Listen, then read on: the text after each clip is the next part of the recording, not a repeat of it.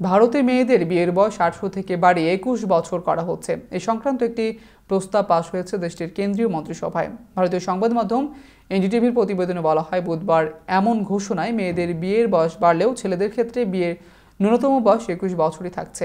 এর আগে ভারতীয় প্রধানমন্ত্রী নরেন্দ্র মোদী ঘোষণা দিয়েছিলেন, মেয়েদের বিয়ে ন্যূনতম বয়স সীমা একুশ করা হবে।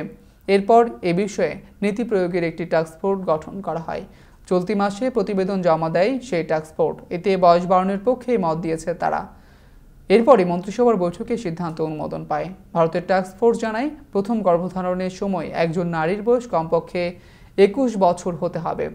বিয়ের বয়সের নিম্নসীমা পরিবার, সমাজ ও শিশুদের উপর একটি ইতিবাচক আর্থিক, সামাজিক ও স্বাস্থ্যের প্রভাব ফেলবে বলে সমর্থকরা জানান।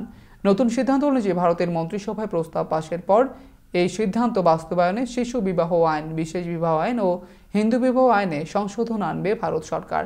ভারতীয় সংসদে সেটি পাশ হলেই চালু হবে নতুন ব্যবস্থা।